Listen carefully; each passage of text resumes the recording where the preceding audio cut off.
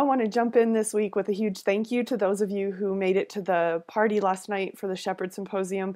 That was so much fun. I don't think it was supposed to be legal, but um, it was awesome, and I really, really am so thankful for you guys coming and showing your support and just being who you are because you're all just such amazing people.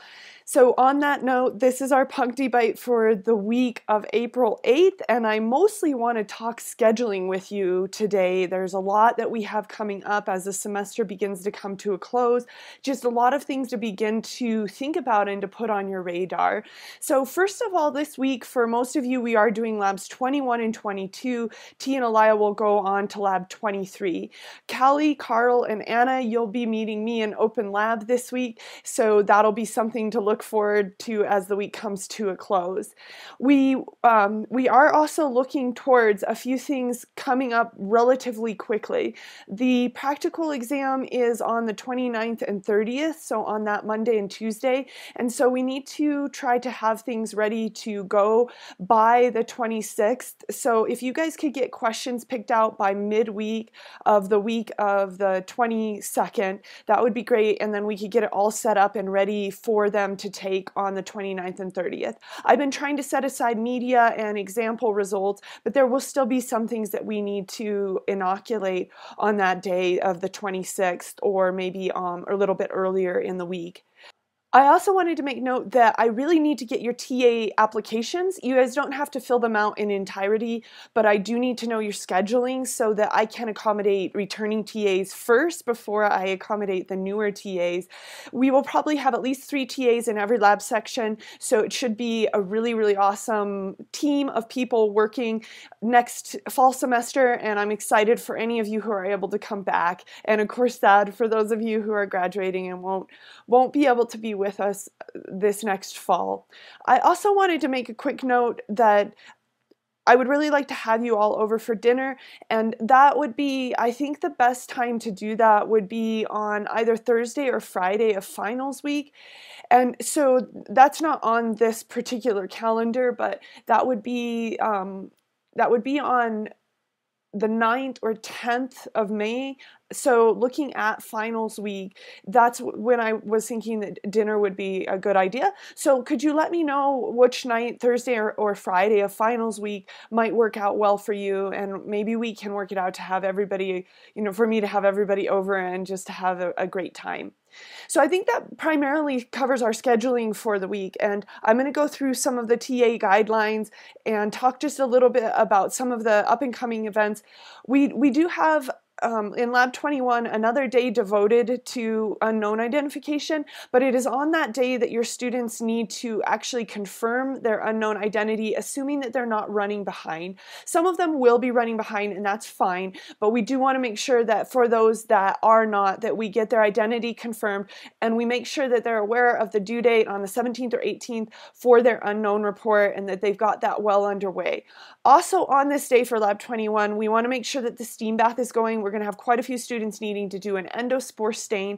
And most importantly, we're going to want to have them do the MRV, MRVP test immediately when they walk in the room. So just get them reminded that they should do that. You can also ask who has a gram-positive rod and have those people flood their starch side of their starch and spirit blue plate with iodine so that they can read for the halo uh, surrounding the, the growth on the starch plate. So just a couple of other, other comments on Lab 21. Uh, just it, the lecture is very straightforward, but we will be covering the Starch and Spirit Blue test, so we'll be explaining that test, and it's kind of nice if you can use one of the plates from one of the students as an example as you go through that. We'll also explain the Simmons citrate tube, so you can kind of um, grab students as they're looking and trying to interpret that test throughout the uh, early part of the hour, and just let them know that we will be talking about it so it'll come in clearer as the lecture goes.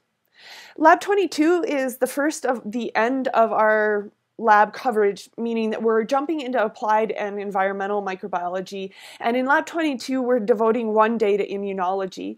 This is somewhat of an in depth lecture, and I'm going to suggest that that unless you're really, really jazzed on this lecture, you do have either me do it or maybe Jacob do it, depending on the situation. If you've taken immunology and you just feel really good about it, then you should just jump in and go for it. Let me know if you want to use my colored water demo to show what types of blood people can donate and receive. It's a really nice one. And do take advantage of the TA guidelines as there's quite a bit of depth um, in background information allowing you to sort of recall some of the immunological concepts. One note on the Ouchterlony gels, with those they need to be incubated at room temperature and we usually put them in little Tupperware containers that are humidified. Those just go, you know, right side up and stay in that uh, in the room temperature incubator throughout the 48 hours.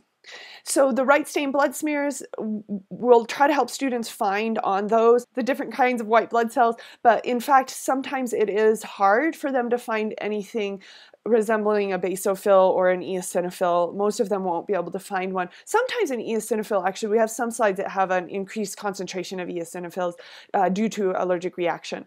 For the blood typing station, it would be really great if someone could kind of hang out back there because their tendency is not to mix the, the neo blood very well. And really what you have to do is kind of break the surface tension as you're mixing with that and really spread it out to be able to see it. And then that really makes it a lot easier to read the results of that. If you don't get it mixed very well, it can be really hard to read. The other thing that can cause a lot of problems in reading that is that it, because it's not actually the hemagglutination and it's actually a chemical precipitate, the ratio of the antibody and antigen is really important, so it needs to be one to one. So that's an important thing to maybe remind them of as they come back to, to check that. So if they do two drops of the antibody, two drops of the antigen, then that'll help them get good results that are visible for that test.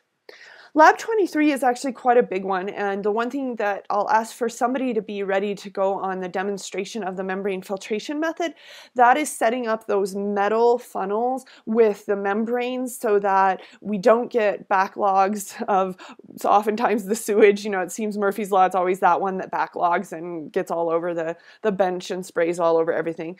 So just make sure you're aware and, of how those are set up so that you can help the students set them up and also demonstrate how to set those up. This is a fun lecture to give, and there's also a lot of extensive TA guidelines. One of my TAs from a while back actually spent a lot of time redoing and rewriting these TA lecture guidelines.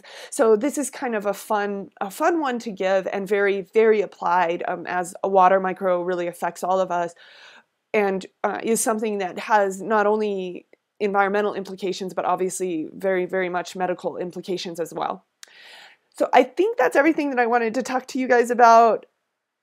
We should be good, and I hope that everybody had a super awesome weekend and that you're feeling a little bit rested. I know it's sometimes I feel less rested at the end of the weekend than at the beginning.